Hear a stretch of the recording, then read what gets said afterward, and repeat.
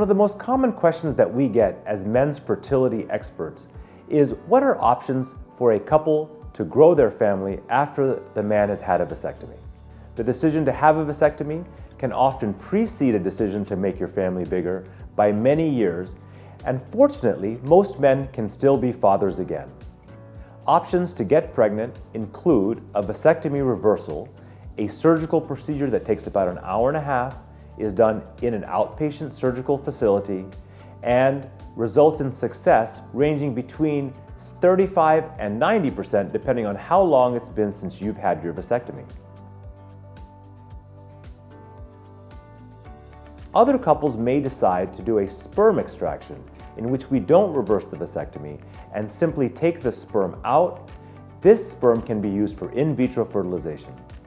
The decision on which one to do is based on a number of factors. First, there's cost. In our practice, a vasectomy reversal costs about $6,500, and if successful, you'll get pregnant naturally.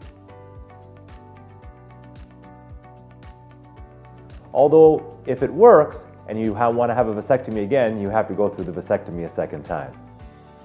If, however, your spouse is older, often over the age of 35, or has fertility issues of their own, such as endometriosis, a diminished egg reserve, or other issues that may impede a natural pregnancy, you may choose to want to go ahead with in vitro fertilization, a cost that can be up to $15,000 or $20,000 in addition to the cost of a sperm extraction, which costs about 6,500 to $8,000 depending on your circumstance.